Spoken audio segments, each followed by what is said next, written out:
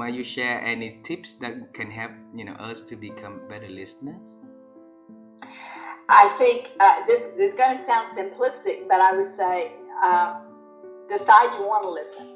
Mm. You know, a lot of times people say things to us and it's just like noise. It's background noise because our mind is on something else. And I find that's true of myself. Somebody comes in and starts to say something and I'm in the middle of an email. I've gotten where I was I used to sometimes just say, yeah, okay. And I acted like I was listening, but I really was focused on that email. Mm. So now I'm in the habit for the last, you know, two decades or so to say, excuse me, can you hold that just a moment? I'm not listening. Let me finish. And I would write a sentence, you know, finish my thought, uh-huh. and then turn back to that person to listen. So making up your mind that you intend to listen is is the most important thing.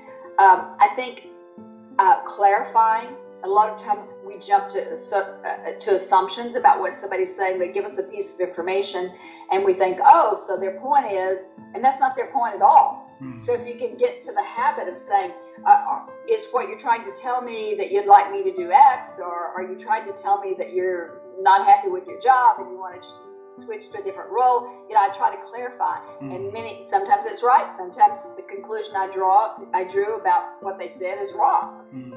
And so making sure that you question and verify the conclusion you're drawing about what they say is another good listening tip habit. Beautiful, beautiful. So first we have to decide that we're gonna listen, right? And then along yes. the way, you know, asking questions to make sure that we understand, the, uh, you know, what the other person say. Are we having the right understanding about that, or you know, we need to have some adjustments or so? Uh, yeah, you know, particularly that's important when you're giving directions as a manager, as an executive, uh, when you delegate a project.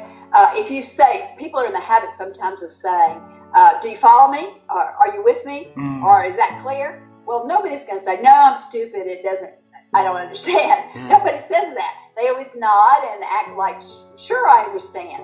So, what you have to do as a speaker is to take responsibility yourself by asking some questions to say something. Let's say you've delegated a project, and as, as the executive, then you take the responsibility and say, um, as you get this done, what, what do you what two or three steps do you think you will be taking? Or where do you think you're going to start on this project? Or uh, what's a reasonable timeline to get this done? And by their answers, then you, the speaker, can determine if they really understood. Mm. Because they don't know that they don't understand.